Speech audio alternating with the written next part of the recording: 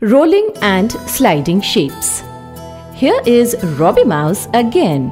He slides out of his home through a chute. Down rolls a ball and a cylinder. Here rolls a cone down the chute.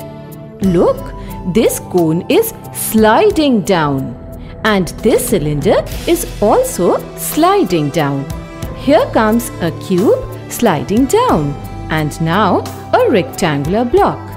Rounded shapes can roll down a slope, but flat surfaces slide down.